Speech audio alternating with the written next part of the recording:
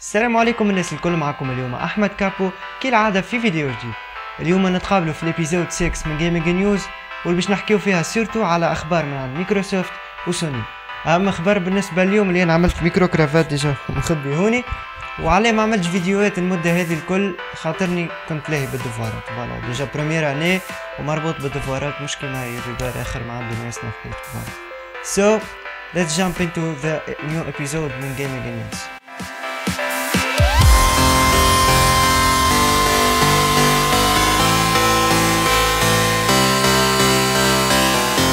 تم الإعلان في حفل Global Game Awards على أحسن لعبة في العام وأحسن استوديو تطوير واللي كانت من نصيب The Witcher 3 والاستوديو متاعها CD Projekt Red اللعبة تصدرت في برشا مجالات أول حاجة كأحسن لعبة وثاني حاجة كأحسن open world game وأحسن sound effects بالنسبة لل FPS Star Wars Battlefront كانت الرابحة وزادة أحسن ال graphics عندها هي.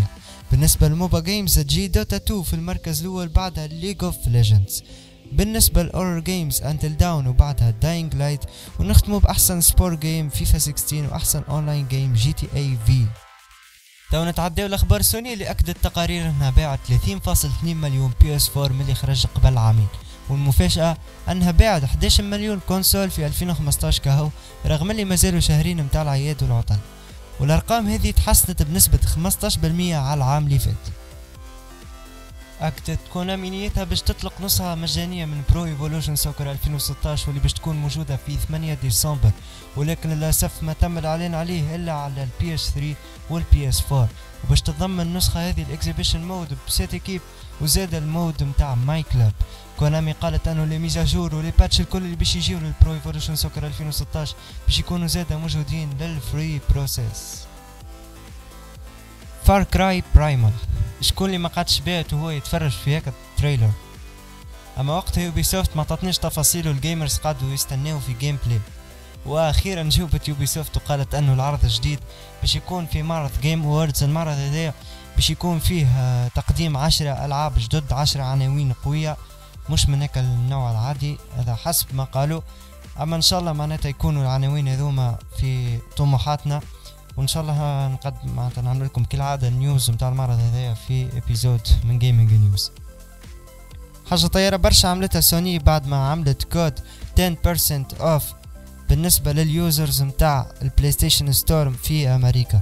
يعني أي واحد عنده compte أمريكي ينجم يشري حاجة يعني jeu ولا حتى PlayStation Plus ولا أي حاجة موجودة في ال PlayStation Store بتاع أمريكا. يطيحوا لك 10% off وقت تعمل الكود هذايا.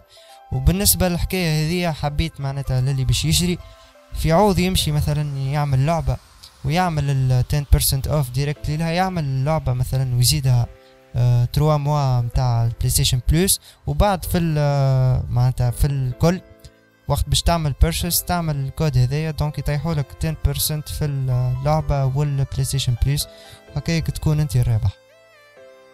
كانت هذه ال episode 6 من Gaming News إن شاء الله تكون عجبتك. ما تنساش تعمل لنا like subscribe و share و comment زادا كنت نجم كان معكم أحمد كابو من موقع Tunisian Gamers إن شاء الله نتقابلوا المره الجايه في ال episode 7 من Gaming News السلام عليكم.